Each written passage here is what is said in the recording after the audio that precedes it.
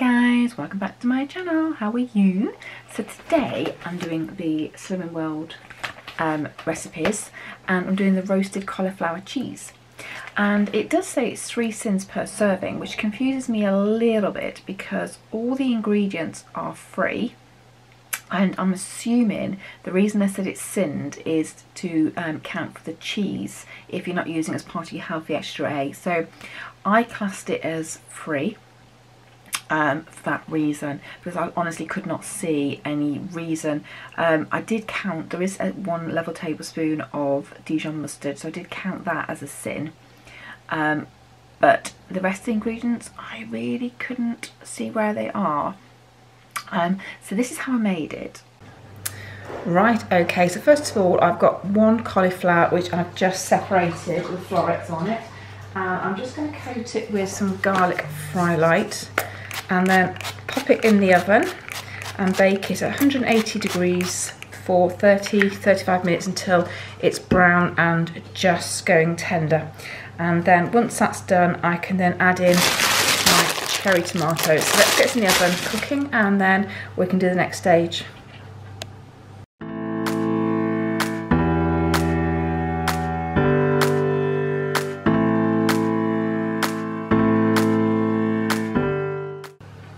Right, so while my um, tomatoes are now cooking with the cauliflower, I'm going to make the topping. And I use this topping for my lasagnas actually. So I've got 250 grams of quark in there. And I'm just going to add to it a level teaspoon of Dijon mustard.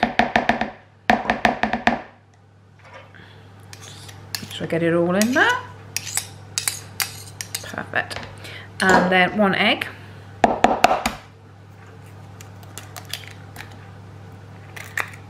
And then half of my cheese. So 75 grams of cheese I always grate mine on the lowest grate, as you know, so I'm going to put half of that in there. And then mix it all together.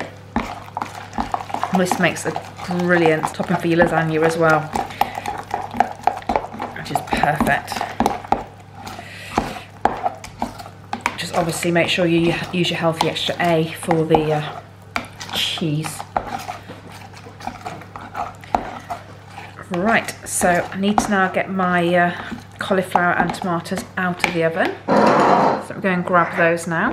So it's out now, and what I do is, I know they've split a little bit the cherry tomatoes, but I just tend to prick them because you can guarantee if you don't, when you come to eat it, it squirts all over you like that does.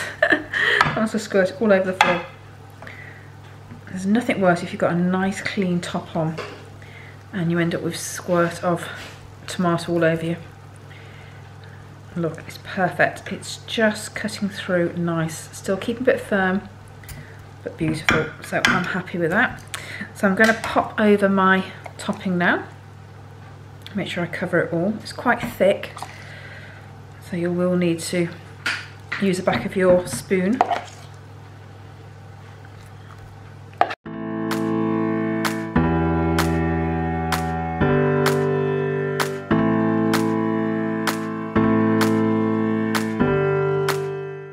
then top it with the rest of the cheese.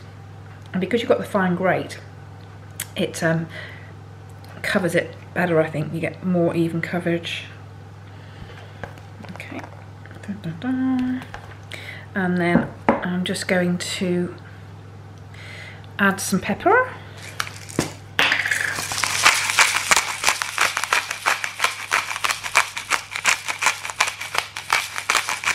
plenty of pepper for us. Perfect. And I'm going to pop that back in the oven for two to three minutes for that cheese to melt and it could go golden brown. Okay. Right guys, there it is. And look at how amazing it looks. And if you compare it to the magazine, it's pretty good. So I'm going to get on and dish this up now and can't wait to eat it. Okay, so it's really quick, it's really simple, and it's a nice addition to any meal. Um, as I said before, that sauce I use all the time in my lasagnas and it's brilliant.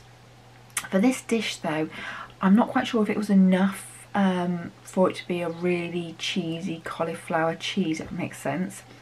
Um, I think if I made it myself, and this is what I do do myself, that makes sense.